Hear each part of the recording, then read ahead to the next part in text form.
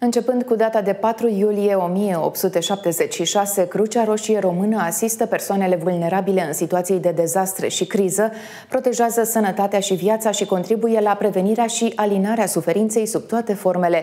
Organizația umanitară a sărbătorit împlinirea 148 de ani de umanitate printr-o demonstrație de măsuri de prim ajutor și prin activități informative. Acordarea primului ajutor este de o importanță vitală, dar câți dintre noi conștientizăm acest lucru? Fiecare dintre noi am învățat să apelăm serviciul de urgență 112, dar până la sosirea unui echipaj de salvare, fiecare minut poate face diferența dintre viață și moarte. Voluntari din cadrul Crucii Roșii Române, filiala Sectorul 1 Capitală, au desfășurat astăzi în Parcul Herăstrău o acțiune de informare și pregătire asupra acordării primului ajutor în situații de pericol iminent. Participanții au învățat cum să reacționeze în situații critice. Astăzi am avut uh, o echipă de voluntari pregătiți în prim ajutor foarte tineri, adică de la vârsta de 16 ani.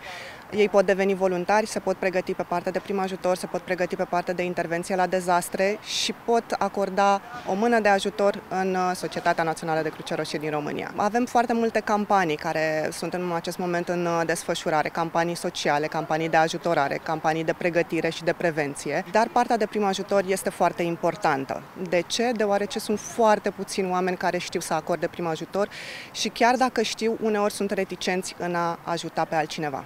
Au fost exemplificate trei situații în care acordarea primului ajutor are o importanță vitală. În primul scenariu era vorba despre o persoană care se accidenta căzând de pe bicicletă cu o plagă la nivelul arcadei și cu o întorsă la mână. După care cel de-al doilea scenariu era vorba despre un uh, bebeluș care era în stop cardiorespirator și atunci uh, voluntarii noștri pregătiți în prim ajutor au trebuit să facă compresiile toracice și insuflațiile în cazul bebelușului.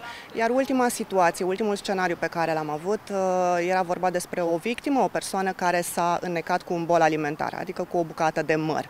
Și atunci uh, voluntarii au trebuit să intervină și să dezobstrucționeze victima. Cred că activitatea de astăzi a fost menită să informeze tinerii și nu doar tinerii, absolut orice persoană despre importanța primului ajutor și cât este de bine să ai niște cunoștințe de prim ajutor, deoarece niciodată nu știi când te vei întâlni cu o situație mai deosebită. Un prieten, un membru de familie se accidentează și tu nu știi ce să faci. Voluntarii Crucii Roșii vor organiza activități de informare până în data de 3 august. Tot în această perioadă, într-un autobuz de pe linia 335 din capitală, inscripționat cu însemnele organizației, călătorii vor putea interacționa cu reprezentanții ai Crucii Roșii. Mai mult, pe ecranele LCD din autobuz, pe cele din stațiile de metrou, dar și în gara de nord, vor rula informații și clipuri de prezentare a activității Crucii Roșii Române în beneficiul persoanelor vulnerabile.